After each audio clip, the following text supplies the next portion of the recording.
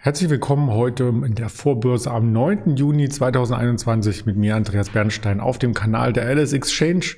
Wir schauen auf die Märkte, wir schauen auf die Termine und auf interessante Themen des Tages, die sich heute ereignen und dazu habe ich schon ein bisschen was vorbereitet.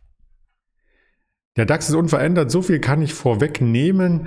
Wir wollen aber auch schauen auf das große Thema, die Digitalsteuer, vielleicht auch eine Unternehmenssteuer oder Unternehmersteuer, wie man das so schön sagen könnte. Und das möchte ich nicht alleine heute tun, sondern ich möchte natürlich auch wieder mit einem Händler sprechen. Und zwar wird das heute der Roland sein gegen 13 Uhr ist das Ganze hier im Programm der LS Exchange. Also gerne auf den entsprechenden Kanälen hier verweilen, abonnieren, dabei bleiben und dann gibt es nicht nur den Blick auf den DAX, sondern auch auf Einzelwerte.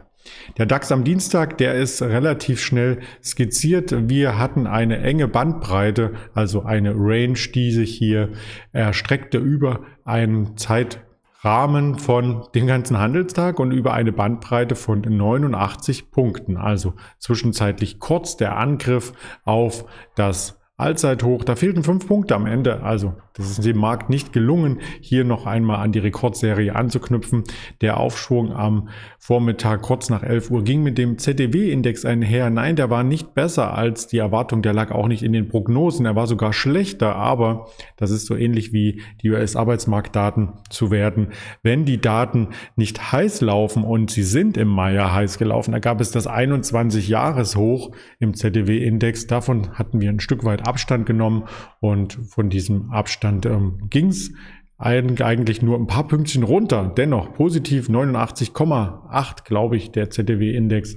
Also erwartet waren 86, 79,8 war er, also leicht schwächer, 84,4 im Vormonat. Ja, und danach hat der DAX dann doch die Gegenrichtung eingeschlagen, neues Tagestief markiert, noch einmal versucht, am Nachmittag zurückzukommen, an die Hochs anzuknüpfen, auch wieder misslungen und fast am Tagestief dann aus dem Handel gegangen gestern Abend. Und das zeigt im großen Zeitrahmen, dass wir jetzt erstmalig auch mal wieder eine kleine rote Kerze haben nach den ähm, fünf Kerzen, die hier in grün waren, beziehungsweise in weiß in der Ansicht ähm, haben wir jetzt den ersten Korrekturtag gesehen und dieser Korrekturtag ähm, tut sich quasi in das Chartbild einpflegen. Insofern, als dass wir auf der Oberseite zwar nichts Neues an Hochs gesehen haben, aber auch keinen richtigen Abschwung. Also das war wirklich ähm, ja, so ein typischer Konsolidierungstag, ein Inside Day, wenn man das Ganze charttechnisch hier begutachtet. Und heute am Morgen sieht es nicht viel anders aus. Also wir haben auch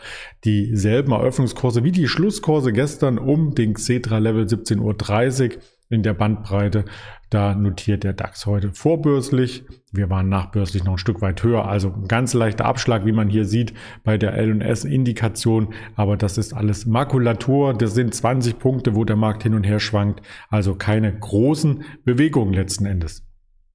Der Bitcoin hat sich dahingehend ein wenig stabilisieren können. Er war gestern schon um die 31.000, also fast bei den Tiefs, die wir hier vor zwei Monaten gesehen hatten. Und ähm, ja, das war die 30.000er Marke. Wir waren zwischenzeitlich, das ist ja der Linienchart auch schon mal auf der 30.000 aufgeprallt. Aber insgesamt scheint das Ganze ein bisschen stabiler zu werden, was sich auch auf die Aktien auswirken könnte, die mit dem Bitcoin eng verbandelt sind. Also beispielsweise eine Coinbase, das IPO vom größten oder der einzigste, man muss ja, ist ja dann auch der größte logischerweise Börsengang in dem Segment. Coinbase ist eine Kryptobörse, die wiederum als Aktiengesellschaft an der Börse handelbar ist und die partizipieren von den Umsätzen, die auf dem Handelsplatz Coinbase stattfinden. Nicht nur Bitcoin, also da wird auch der Dogecoin gelistet und andere ähm, Kryptowährungen. Und da könnte man eigentlich meinen, dass egal ob es hoch oder runter geht am Kryptomarkt, die Börse profitiert und stabil dasteht. Aber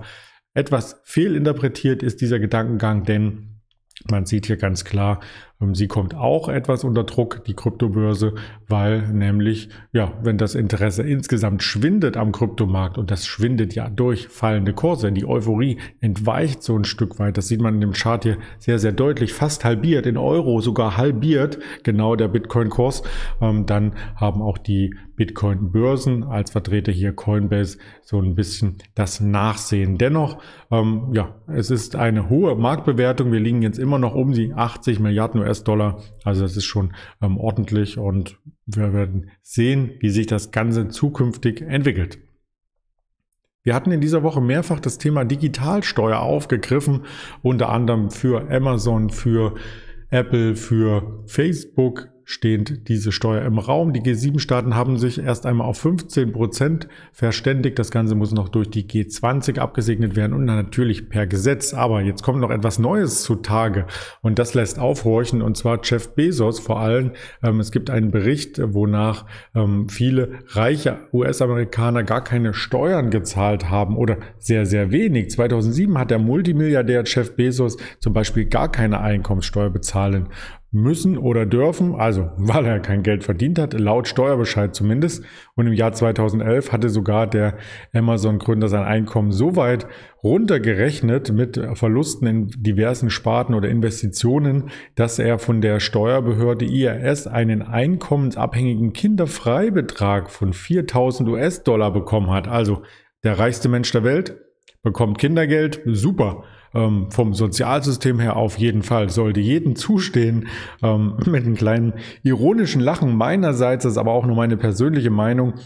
Der investigative Journalismus Pro Publica hat quasi die Steuererklärung von Chef Bezos aufgegriffen und hat dadurch so ein bisschen ein Netz aus Schlupflöchern und Abschlägen ähm, in der Öffentlichkeit preisgegeben. Ja, und nun muss US-Präsident Joe Biden, der das auch schon beklagt hat gegenüber ähm, seinen Wählern, dass es nicht in Ordnung ist, wenn Milliardäre oder Millionäre keine Steuern zahlen oder zumindest keinen gerechten Anteil an der Staatsfinanzierung einnehmen. Und ja, das sind zwar insgesamt von der Bevölkerung her nur 0,01 Prozent, aber sie würden insgesamt ja einen großen Anteil mit ihrer Einkommenssteuer zum, zur Staatsfinanzierung beitragen. Und wir wissen alle, die Staaten haben das Geld bitter nötig. In Deutschland die Rentenkasse, gestern die Diskussion ab 68 erst in Rente zu gehen, ein äh, Vorschlag, den es gab in der Politik und in den USA wird das Geld auch bitter benötigt. Der Staat ist auch verschuldet.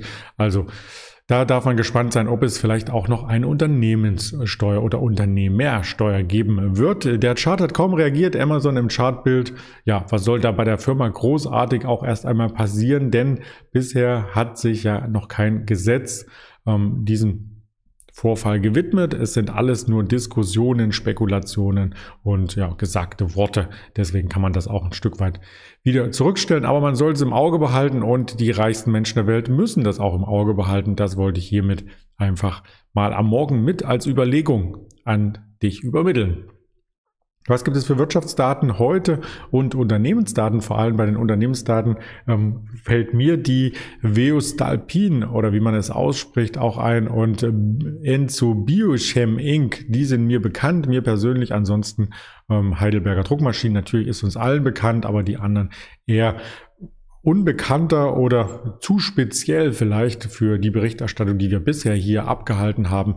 Dennoch Quartalszahlen gibt es heute en masse. Die sollten mit ins Kalkül gezogen werden bei den Handelsentscheidungen und die Wirtschaftstermine des Tages sind klar skizziert. Die Handelsbilanz aus Deutschland hatten wir bereits, die Leistungsbilanz auch Import, Export das Verhältnis spielt hier eine große Rolle auf jeden Fall und wir werden dann um 16 Uhr die Großhandelsinventare aus den USA noch sehen als einzigste Wirtschaftszahl der Vereinigten Staaten und 16 Uhr dann die erste Notenbankentscheidung dieser Woche, Bank of Canada, Zinssatzentscheidung und das Statement ab 16 Uhr zu erwarten. Der kanadische Dollar wird hier auf jeden Fall etwas volatiler werden. Ansonsten in Deutschland, in Europa achtet man auf die EZB-Zinssatzentscheidung, die dann am Donnerstag 13.45 über die Ticker kommt. wir werden darüber berichten. Also bis morgen noch etwas Geduld, vielleicht auch mit der Volatilität etwas Geduld haben auf YouTube, Twitter, Instagram, Facebook und in Hörvarianten Spotify, Deezer und Apple Podcast sind wir für dich da und das wäre quasi das Intro für den heutigen Handelstag, zu dem ich dir alles Gute und viel Erfolg wünsche. Bleib gesund, dein Andreas Bernstein.